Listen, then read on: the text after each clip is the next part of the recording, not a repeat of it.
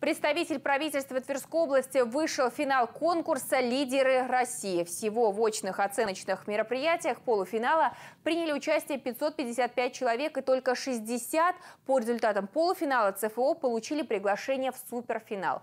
Одним из них и стал Максим Голик, исполняющий обязанности министра промышленности и торговли Тверской области. В течение трех дней конкурсанты от ЦФО решали управленческие кейсы различной степени сложности. При этом каждый получил персональные рекомендации для дальнейшего развития. Также прошли встречи с лидерами и мастер-классы от ведущих компаний. В конце марта в Сочи назовут победителей конкурса. Ими станут 100 участников, наставниками которых выступят ведущие управленцы страны.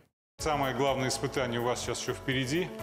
Поэтому я желаю всем вам выйти в финал, потому что я уверен, что внутренне каждый из вас этого заслуживает.